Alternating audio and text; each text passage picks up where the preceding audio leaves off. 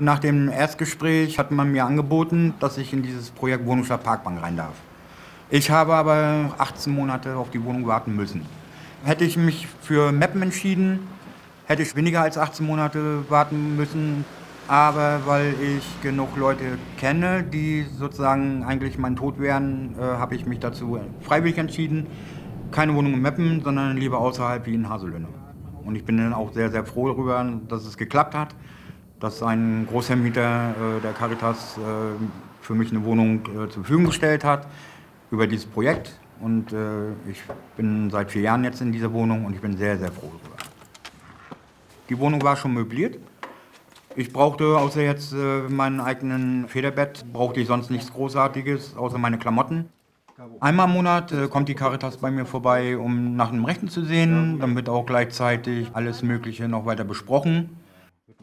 Für meine Zukunft wünsche ich mir äh, Gesundheit ohne Alkohol, Arbeit, dann Wohnung, eigene Wohnung dass ich von meinen Altlasten Sachen Schulden befreit werde und äh, damit ich mir auf diese Art und Weise auch dann ein neues Leben dann gestalten kann, was für mich sehr, sehr wichtig wäre.